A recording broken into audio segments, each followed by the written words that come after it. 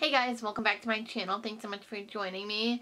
Sorry if I look a little out of it. Um, I just got back from the gym and I did, decided to leave on my gym clothes because didn't feel like changing. And um, also sorry about the lighting. The sun is going down. I'm gonna try to work with it though.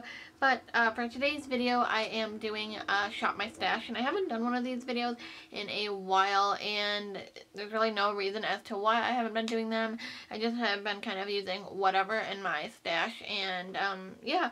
But I thought I would share with you guys uh, what I'm using this week or in the next couple weeks. I haven't really decided how long I'm gonna use these products. But let me know if you would like me to continue to do these types of videos of Shop My Stash where I show you guys what I'm using for the week or a month or just kind of what I'm using um, because I think they're really fun to do. But uh, yeah, I'm just going to get started here. So for face primer, I am going to be using my Hourglass Mineral Veil Face Primer. This is my only face primer that I own now in my collection, which I'm pretty happy that I used all of my sampled and, you know, deluxe uh, sizes and just full-size primers. But yeah, this is what I'm using for face primer, and I love this, so I'm really excited to use that this week. For foundation, I haven't used this in a while. I've been kind of focused on my Neutrogena Hydro Boost Foundation or Hydrating Tint. Um, but I've kind of been giving myself a little bit of a break from that just because it's getting hotter here, warmer here in Michigan, and um, it's really not working for my skin as well as it once did. So I'm using the Urban Decay Naked Skin Foundation. This is my favorite foundation, and um, I want to see if I love it as much as I did uh, before I used my Neutrogena one. But uh, yeah, I really do like this foundation, and I think I'm like around down to here, so there's really not that much left, and uh, I do want to use it up because it is getting to be about a year old or probably like eight months old and I kind of want to get it out of my collection before it goes bad. Moving on to concealer, I have the Too Faced Born This Way concealer in the shade Light. And I do like this concealer. I use it quite frequently. Usually I mix in with a more full coverage concealer to kind of give it more of a dewy look. But I just kind of want to try this on its own this week. I love the way this concealer smells. I don't know if that's just me, but it smells really good, and I don't know. Um, but I want to try this concealer on its own, see if I like it as much as I do when it's mixed with other concealers. I always do set this concealer anyways, but I'm going to kind of jump around a little bit um, here for eyeshadow this week. Um, I kind of want to throw in my Subculture palette and use this with, along with other palettes. I've been kind of experimenting with more colorful looks. If you follow me on Instagram, it's just Beauty by Mary K. I will put the like handle here if you guys want to like follow me but and see like what makeup looks I post on there.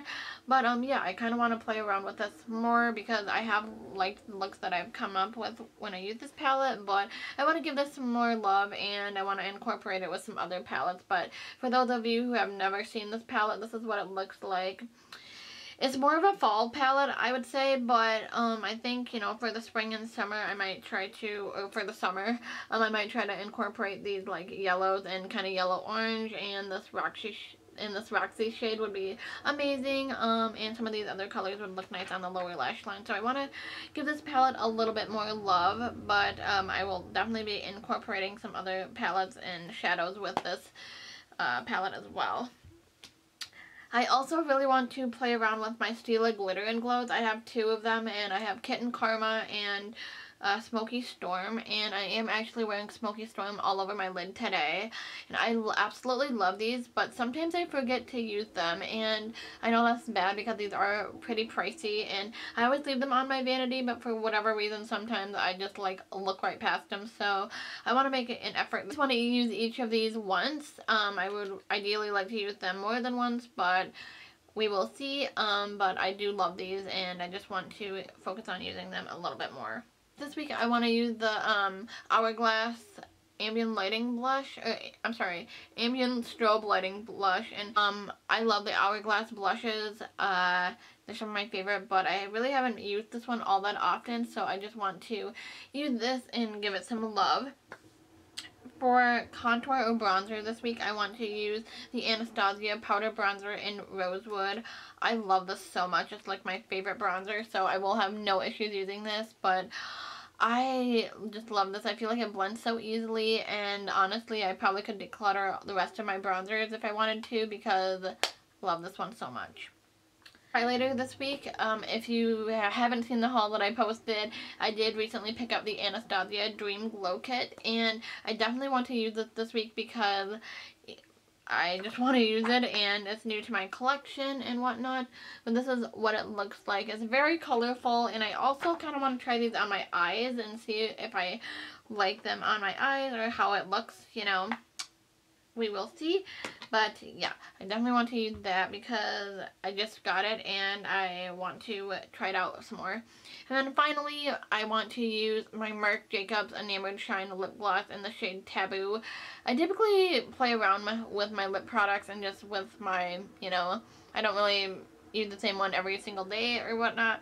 But um, I wanted to throw in this lip gloss because I am actually trying to use this up. I love this lip gloss. I'm going to put some on right now.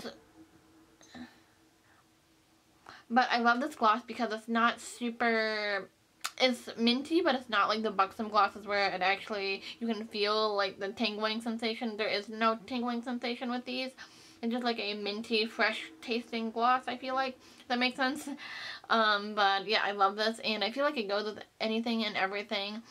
And uh, yeah, I just want to continue to use this because I do want to move it out of, out of my collection just because, I don't know, I just want to. And I love it and uh, it would be one less lip product out of my collection.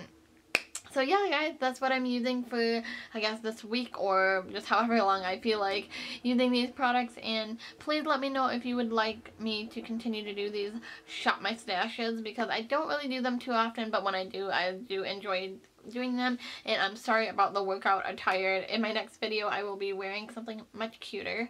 But uh, yeah, thank you guys for watching and please take a moment and subscribe if you haven't done so already and I will see you in my next video. Thanks so much for watching. Talk to you later. Bye.